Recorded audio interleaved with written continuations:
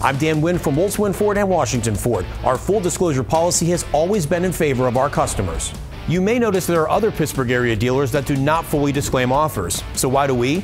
Because you deserve to know up front how we've arrived at the savings and if there are any special qualifications. When you buy your new Ford from us, it's simple with true pricing. The price you see is the price that you can expect to pay. Two stores about two minutes off of I-79, Woltz Ford, Heidelberg, and Washington Ford, Washington. Find it fast at windauto.com.